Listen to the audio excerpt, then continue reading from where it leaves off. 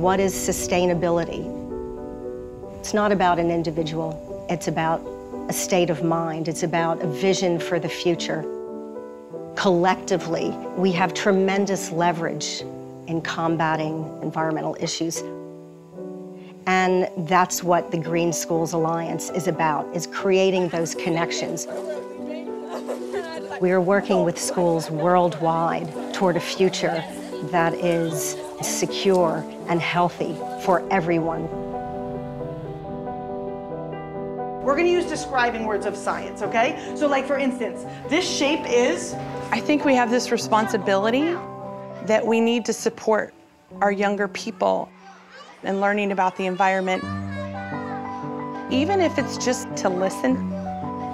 Like there's a lot of good things in our environment, but a lot of people just waste them because they don't think they're very important, but they actually are. Also, the environment is important to me because one, it's where we live. Hi girls. Hi. Hi Mila. As a student, if we empower them, they can change the world. One of the fifth graders read a story called A Long Walk to Water. And he was like, oh my gosh, this is horrible. Three, four hours a day, these kids have to walk for water. So he worked with the green team, and in a few weeks, they're gonna kick off a fundraiser to try to get a well for an area in Sudan. SC3 is a student leadership program that is done in partnership with the United States Fish and Wildlife Service. It's at their National Conservation Training Center in West Virginia. Some of you may be aware of this, and kind of when he looks at the impact of global climate change, this is ground zero. We are a group of environmentally minded kids, and it's not where you have to act a certain way or like feel pressured to do certain things. The Green Schools Alliance is just there to kind of guide you and the way that you think about the environment on a day-to-day -day basis.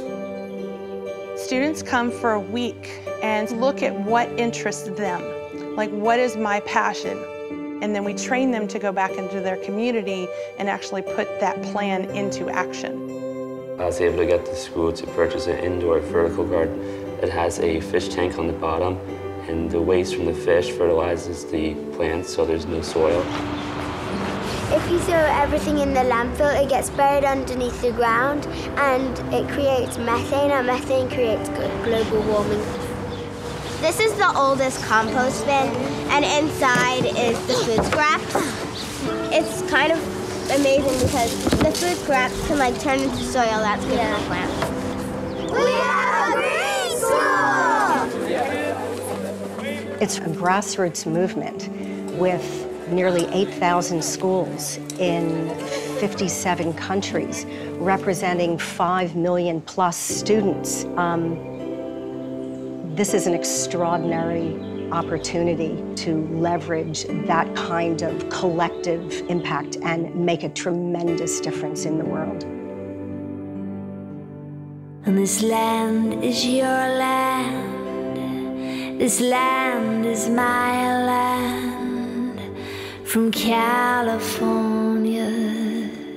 to the New York from the redwood forest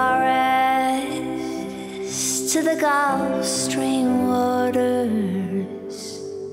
And this land was made for you and me. Oh, this land was made for you.